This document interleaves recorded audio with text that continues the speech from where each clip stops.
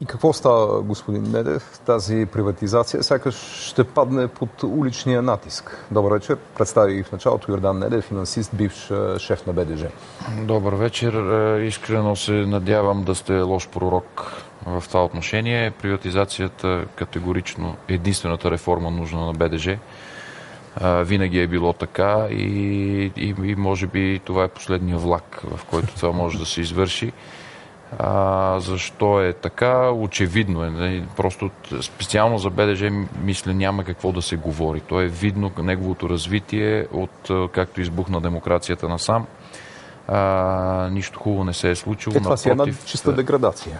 Точно така. Институционализираха се практики, които аз след като съм си правил анализи постфактум, категорично не могат да бъдат променени.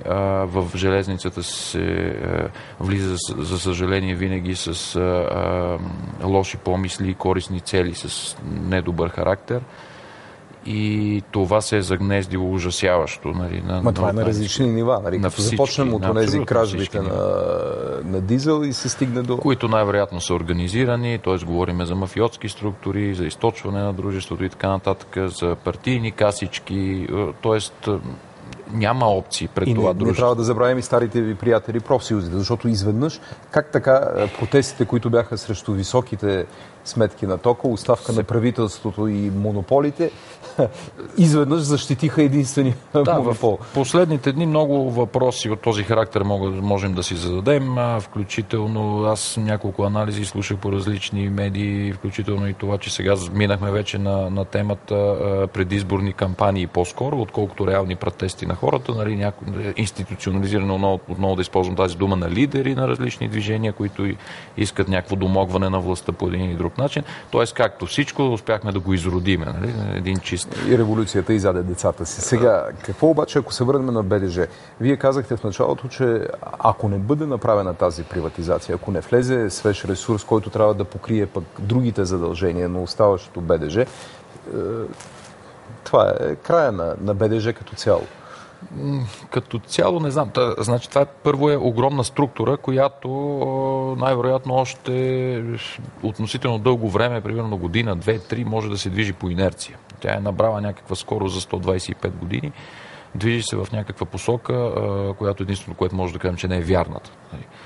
Лошото е, че много малко хора могат да посочат вярната и да го подкарат във вярната посока което автоматично говори, че трябва да се търси външна помощ. Външната помощ е приватизация категорично. Нали? Друга външна помощ под формата на допълнителни заеми също очевидно, че не е решение на въпроса. Да, защото Лошото... този немския заем, който виси със страшна не сила. Не само, те са няколко такива вътрешни задължения към доставчици, има както краткосрочни, така и дългосрочни а, пълната палитра на, на, на дългове има БДЖ и очевидно а, клин клин избива, но клин остава, нали, ако довършиме тази приказка. Така че а, с допълнителна задлъжнял със сигурност няма да се оправят нещата. А, Този букет на кандидати, е, е, вашата оценка? Мене много ми харесваше. А, включително аз се опитах да доведа, даже имах три неуспешни опита аз да доведа инвеститор тук, с който да, да се сработим и, и заедно да участваме в приватизацията. Не ми се получи за мое най-голямо съжаление, защото имам някакви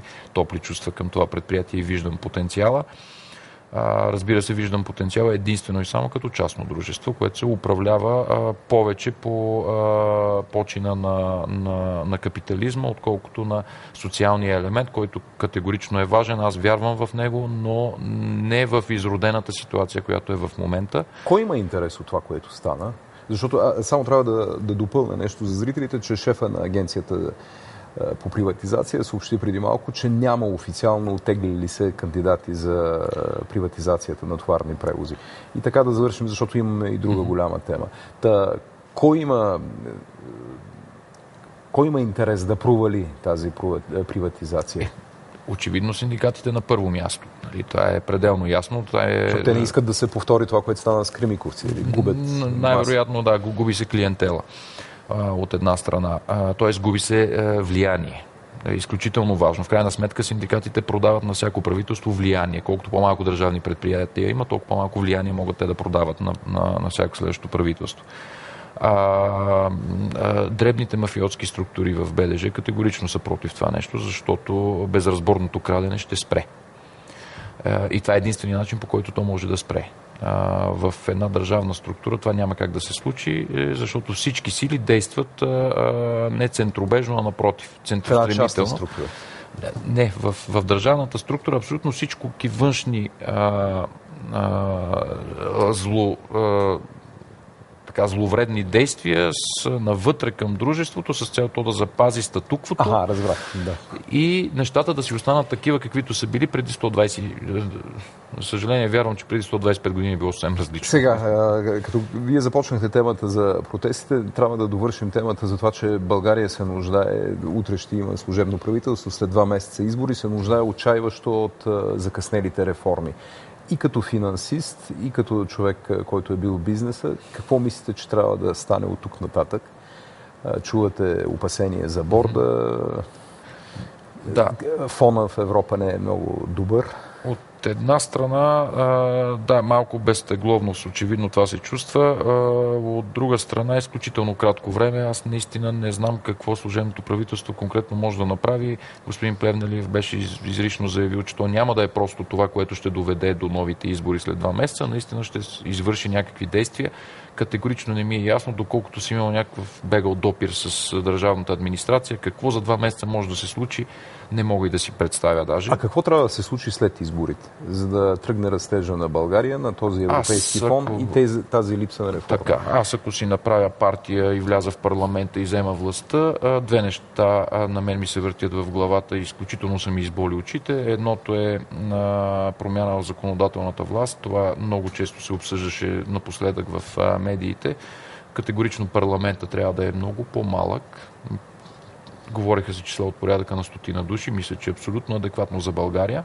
Това поне с 2,4 пъти ще намали корупцията в българската държава, предполагам. А, оттам насетне мажоритарния принцип нямам представа как, но по някакъв начин ми се струва, че трябва да е малко по-силно заложен в, в изборния кодекс, в начина на избиране на народните представители. Разбира се, някакви еретични мисли за отзоваване на народни представители от тези, които си ги избрали, вече ще доведат до хаос най-вероятно. Тоест има много неща, които в тази институция трябва да се променят. Аз вярвам, че много неща почват от там, в крайна сметка, по някакъв начин той избира и правителството. А, другото нещо, разбира се, е корупцията. Корупцията е изключителна загуба на стойност за економиката и е, по, по два начина. Първо, че хубави пари отиват при грешни хора и второ, че те а, изобщо разпределителния механизъм нарушават тотално корупция. Тоест, парите не отиват в един конкурс, примерно, парите не винаги ще отидат при този, който най-добре ще свърши работа. Законодателни промени, отрязване на за корупцията и, и да. по същество за економиката.